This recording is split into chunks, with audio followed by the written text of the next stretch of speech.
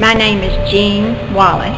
I saw an article in the newspaper about Master Safakhoo training older students, and it looked real interesting to me, but I was a little bit intimidated about coming in uh, because of the respectful environment that it is.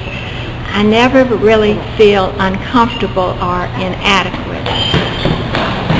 I feel very comfortable here, um, even though there are all ages and all abilities. I can't do all the things that the young people can do, but that's okay because it's not a competition environment. Uh, I feel like I'm stronger than I would be uh, at this age because I've taken Kung Fu. I feel like I have better balance.